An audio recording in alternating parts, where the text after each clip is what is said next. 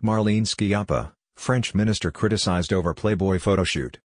A French government minister has sparked outrage after she posed for the cover of Playboy magazine.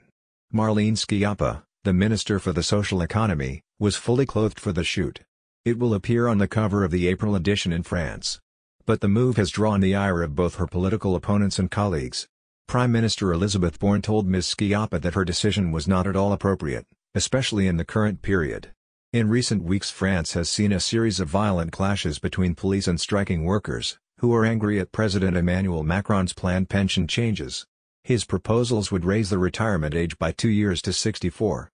Prime Minister Borne's criticism was echoed by Green MP and fellow women's rights activist Sandrine Rousseau, who questioned the timing of the move.